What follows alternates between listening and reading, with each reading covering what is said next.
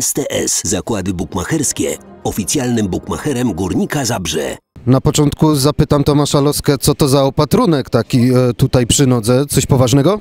No nic poważnego, stłuczenie po prostu w ostatniej sytuacji z Szymonem Matuszkiem zderzyliśmy się w powietrzu. No, jak wiadomo, Szymek w powietrzu jest bardzo groźny dla przeciwnika, jak i czasami, jak widać, dla nas. I tak wyszło, że, że troszkę jestem obity, no ale myślę, że to nic groźnego. 45 minut bez straty bramki, to ciebie jako bramkarza z pewnością cieszy.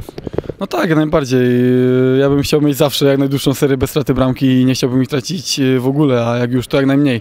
E, Więc cieszę się z tego, że, że zagrałem na zero, że cała drużyna zagrała na zero i, i wygraliśmy ten dzisiejszy sparring. No właśnie, zwycięstwo wysokie, przekonujące, no i przede wszystkim również gra, która mogła się e, i może się e, podobać, to chyba podbudowuje Was psychicznie przed tym dalszym e, ciągiem e, przygotowań e, do rundy wiosennej.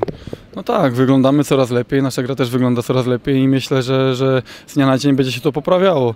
Myślę, że, że do czasu pierwszego meczu ligowego będziemy w optymalnej dyspozycji i pokażemy się z jak najlepszej strony.